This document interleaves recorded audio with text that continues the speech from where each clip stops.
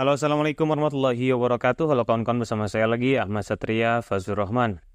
Oke, kawan-kawan, pada video kali ini kembali saya akan memberikan ulasan saya tentang sepak bola nasional, terutama tentang uh, tim nasional Indonesia yang kali ini sedang panas-panasnya karena direcokin oleh beberapa orang. Terkhusus video ini akan saya tujukan kepada seorang paroki Gerung yang saya hormati dan saya uh, banggakan ya karena memang saya sangat menghormati beliau dengan logika-logika dan juga retorika-retorika beliau tapi kali ini saya patut untuk meluruskan apa yang harus apa yang telah diutarakan oleh seorang uh, paroki Gerung. Meskipun nanti saya dicap mohon maaf dicap DUNGU ya. Saya tidak peduli karena sejatinya paroki Gerung itu mencari lawan yang salah. Yakni para supporter sepak bola Indonesia dan pendukung tim nasional Indonesia tapi sebelum saya banyak berbicara, di sini saya memiliki madu ya kawan-kawan. Ini madunya sangat berhasiat, madu odeng asli dan diambil langsung dari hutan, dari alam, dari daerah saya. Eh, lihat saja ini kekentalannya sangat-sangat kental nih kawan-kawan dan ini sangat berhasiat untuk kesehatan. Bagi kawan-kawan yang ingin memesan madu ini, silahkan dicat ke nomor admin di bawah. Terima kasih atas pesanannya. Oke, kawan-kawan.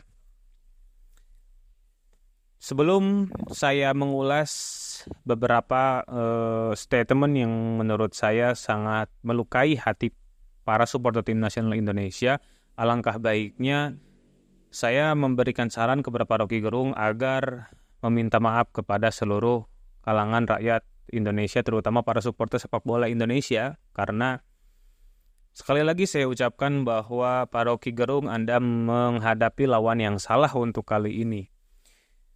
Jika di ranah perpolitikan, Paroki Gerung menempatkan diri sebagai oposisi. Beliau itu mengkritik hal-hal yang harus beliau kritik. Beliau juga mengatakan bahwa meskipun pemerintah itu bagus, maka tetap harus dikritik. Tapi Pak, mohon maaf, untuk sepak bola berbeda untuk kali ini timnas berbeda. Ya, saya saya tahu memang orang-orang yang berada di tim nasional di PSSI sekarang, kemudian sekarang PSSI di bawah eranya siapa?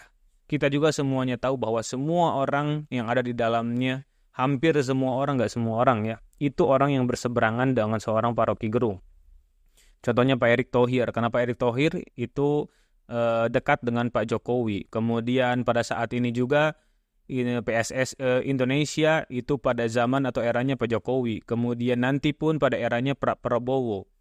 Dan kita sudah sering kali melihat bahwa seorang Loki Gerung ini selalu saja berseberangan dengan kebijakan-kebijakan yang diutarakan oleh rezim Pak Jokowi. Dalam hal ini juga sekarang rezim Pak Prabowo.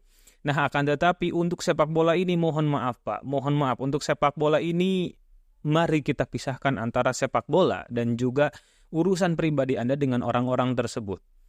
Sepak bola hanya sepak bola, Pak. Hanya sepak bola yang menjadi hiburan kami. Tolonglah. Sepak bola yang bisa me mengeluarkan kami dari rasa stres. Dan baru kali ini dan baru kali ini sepak bola Indonesia dalam hal ini terkhusus tim nasional Indonesia itu betul-betul membanggakan kita, Pak. Dari dulu tim nasional Indonesia kalau nonton kita stres terus.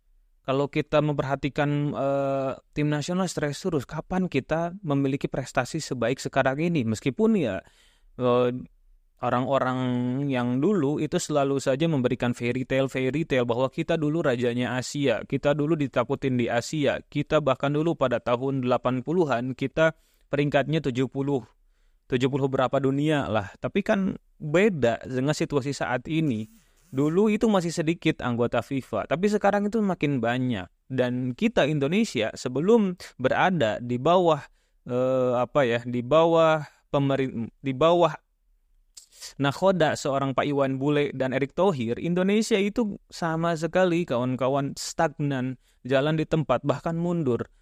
Tapi setelah adanya Pak Iwan Bule mengkontrak seorang Sintayong melakukan pembenahan di tubuh timnas, melakukan naturalisasi, kemudian datang juga Pak Erick Thohir lebih memperbaiki tatanan yang ada di PSSI, kemudian juga memperbaiki timnas, bahkan liga pun diperbaiki sekarang dengan adanya VAR, dengan memberantas mafia-mafia.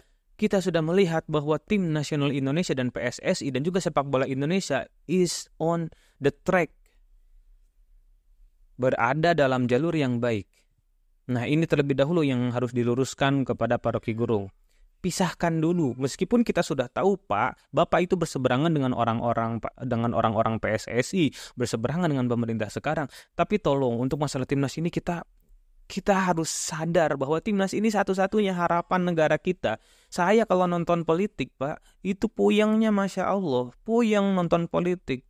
Apalagi di debat-debat TV, cuma bisa ngomong doang.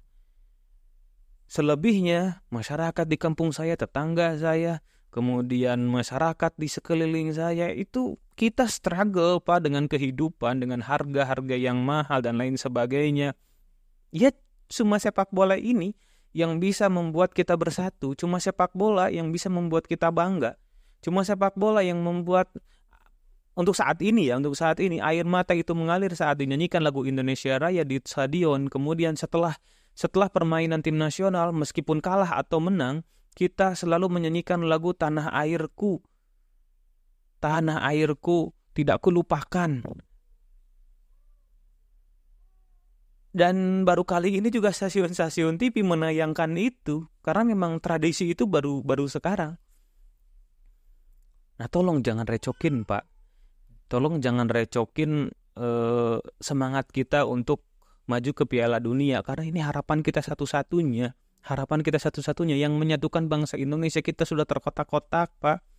Kita terkotak-kotak dengan politik, kita terkotak-kotak dengan isu-isu apa pun itu di Indonesia sekarang hanya sepak bola loh yang menyatukan kita.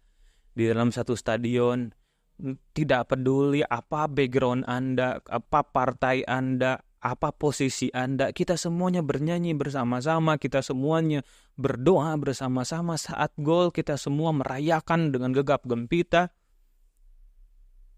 Tapi Bapak dengan teganya menyatakan bahwa euforia kita adalah euforia palsu. Tolong jangan membuat para pemain down, Pak. Oke lah, saya tidak masalah jika yang berbicara adalah orang yang tidak memiliki kredibilitas dan orang tidak memiliki popularitas seperti Anda. Contohnya seperti saya. Contohnya juga seperti orang-orang yang kata-katanya mungkin tidak banyak didengar oleh orang lain. Contohnya saya Pak Peter Gonta. Kenapa saya tidak meng-highlight sekarang Pak Peter Gonta? Siapa sih Pak Peter Gonta? Saya tidak mengenal Pak Peter Gonta. Ketika saya bertanya kepada teman-teman saya, ketika saya bertanya kepada kerabat saya, ada yang tahu nggak Peter Gonta itu siapa? Mohon maaf nggak ada Pak. Baru kali ini saja kita tahu bahwa beliau mantan direktur uh, di Rut Garuda kalau tidak salah ya. Baru kali ini saya tahu setelah searching siapa sih sebenarnya Pak Peter Gonta. Nah, tapi kalau Anda, ketika saya bertanya ke keluarga saya, ketika bertanya ke teman-teman, do you know Rocky Gerung? Yes, of course. Mereka tahu semuanya Pak Rocky Gerung yang suka ada di TV itu, yang sangat pintar dan bijak. Nah, saat Anda menyatakan pernyataan pertanyaan pernyataan-pernyataan atau statement yang seperti ini, ini akan sangat berbahaya, Pak. Bagaimana nanti perasaan para pemain, terutama para pemain yang yang dinaturalisasi saya memberikan tanda kutip naturalisasi karena mereka masih memiliki darah Indonesia.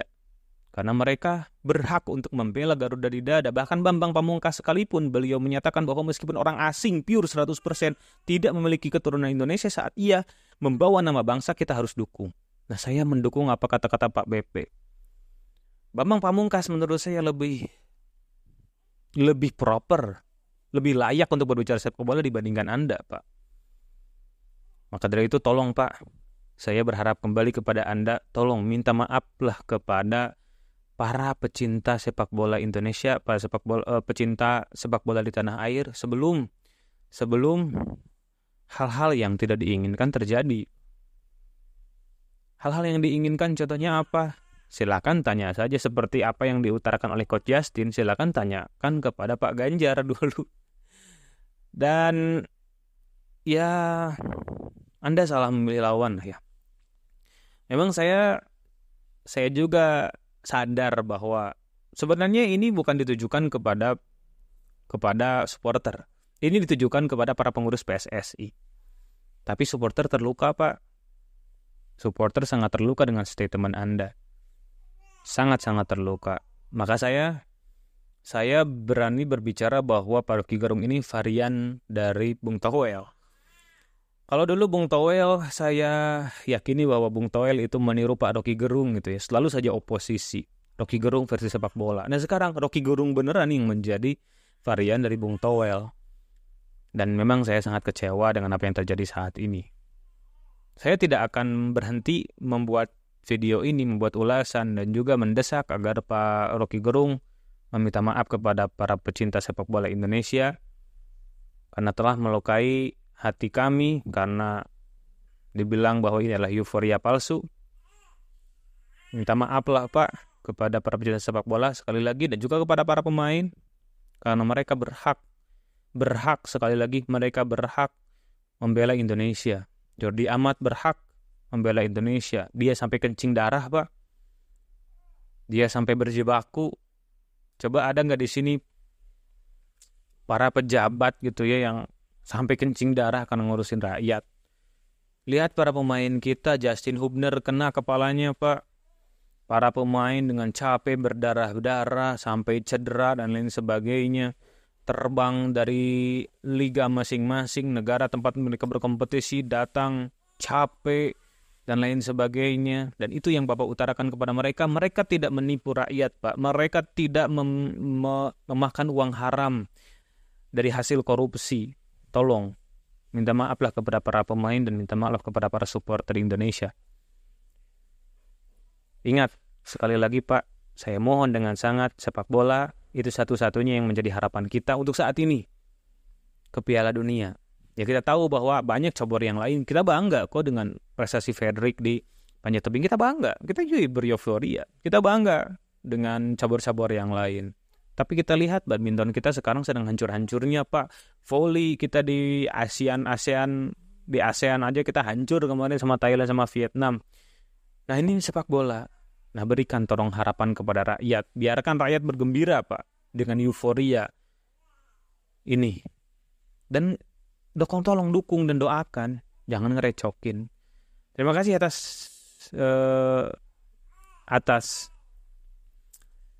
uh, waktu yang telah Anda sisakan untuk share video ini. Mudah-mudahan video ini juga nyampe kepada seorang Paroki Gedung. Saya tidak saya tidak peduli apa pun yang Paroki Gedung eh, sematkan kepada saya, entah saya bodoh atau DUN gitu ya. Enggak. Yang penting tolong dukung. Selama Anda tidak bisa memberikan kontribusi kepada sepak bola Indonesia, kita dukung dan doakan jika kita tidak bisa memberikan kontribusi nyata. Assalamualaikum warahmatullahi wabarakatuh. Tunggu part selanjutnya.